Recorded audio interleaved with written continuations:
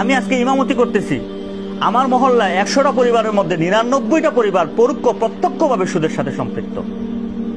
এবং এই নিরানব্বইটা পরিবারের খাবারও খাচ্ছি, তাদের টাকা দিয়ে আমার সংসার চলতেছে। কীভাবে আমি হালাল খাচ্ছি, আর কীভাবে আমার এবাদত আল্লাহর কাছে কবুল হবে, আর আমার পিছনে যারা নামাজ পড়তেছে, তাদের নামাজ কতটুকু গ্যারান্টি আমি দিচ্ছি আল্লাহর কাছে কবুল হবে? কারণ আমারটা নিজেরটাই তো কবুল হচ্ছে না। ওদেরটা কীভাবে কবুল হবে? এটাই হচ্ছে দাজ্জালি ফাতনা। আজকে মসজিদের ভিতরে আমি হারামের সাথে সম্পৃক্ত। আপনি জানেন ওই মসজিদ নির্মাণ হয়েছে কার টাকা দিয়ে? হারাম না হালাল টাকা দিয়ে আপনি জানেন আপনি জানেন না। যে মেম্বরে বসে কথা বলতেছে, ওই মেম্বরটা হালাল না হারাম, আপনি জানেন জানেন না। পুঙ্খানুপুঙ্খভাবে পর্যবেক্ষণ করেন। প্রত্যেকটা বিষয়ে সুদ সম্পৃক্ত। প্রত্যেক লোক তার মায়ের সাথে জিনা করতেছে। প্রত্যেক লোক তার ভাইয়ের গুস্ত খাচ্ছে। প্রত্যেকটা লোক বেবিচারের সাথে লিপ্ত আছে। এটাই বাস্তব। এই চরম সত্য কথাগুলি বলার মতো কেউ নেই। কে বলবে এই কথাগুলি? আর এটাই বাস্তব।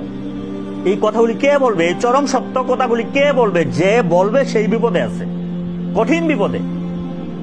আমি আমি যদি ইসলামের উপরে পরিপূর্ণ চলতে যাই, ব্যক্তিগতভাবে নিজের নফসের সাথে প্রথম যুদ্ধ আমাকে করতে হবে। আমার পরিবারের সাথে যুদ্ধ করতে হবে।